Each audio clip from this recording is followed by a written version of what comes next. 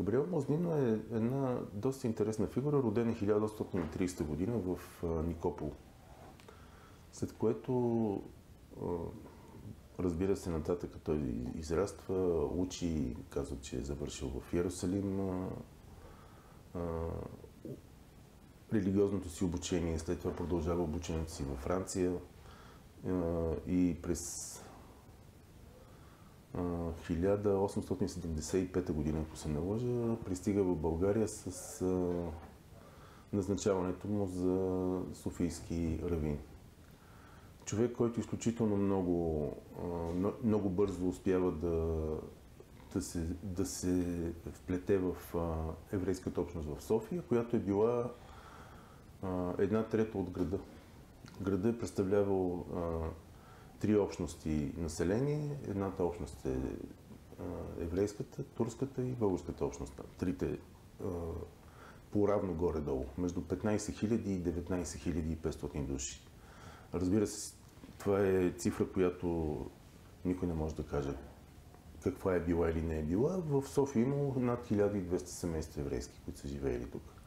Те са били търговци и занечи основно. Града е бил много малък нали, колкото и странно да ни звучи в момента. И а, той оглавява тази общност и с много голяма вещина ръководи еврейската общност, която му се доверява изключително много.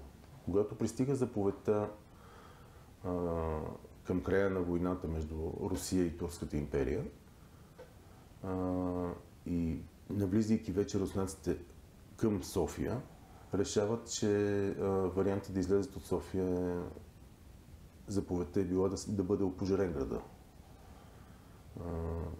Този, който ръководи турската армия, по странен начин отказва да изпълни тази заповед, като преди това е имало една среща, в която са поканени представители на, на общностите и на а, консулските служби в София, на която единствено от консулите Легия и Позитано категорично застават срещу запалването на София. Всичките други казват, че това не ги интересува. Те си изнесат от София, така че Другата, другите хора, които са покани на тази среща са представител на еврейската общност, равина на София по това време и представител на турската общност. На българската общност, разбира се, не е бил поканен представител, нали, защото ние сме били, тук са били рая. Много тъжна история. София, София бива спасена от пожара, нали, армията отказва да запали града, но Баши Бозука, който това са доброволните а, турски войски, които са навлезнали в София, започнали да палят къщите. След тях са вървяли евреите със своите а, каручки и бидони с вода и с а, конете си са дърпали тия бидони и а, са гасяли този пожар.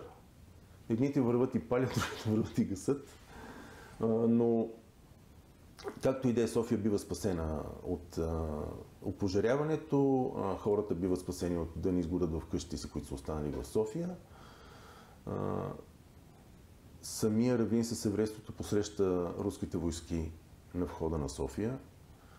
След а, време а, този човек а, 1879 година, ако се не лъжа, бива поканен за представител на еврейската общност в учредителното народно събрание и после участва по право в първото народно, Велико народно събрание. Тоест той е един от строителите на съвременна България, да, както ги нарича да, Симеон Радев. Точно така. А, заради неговите умения да комуникира и а, тези добри впечатления, които оставя сред депутатите и хората, които са били на власт по това време. Той бива предложен за равин на България и заради заслугите му, които са по това време категорични, че той е помогнал много за спасяването на София. Той бива избран за равин на България. След години начало на равината в, на, на, като равин на България. Той се пенсионира, практически заминава обратно в Иерусалим. Той завършил практически а, в Иерусалим, познава този град, иска да се върне там да умре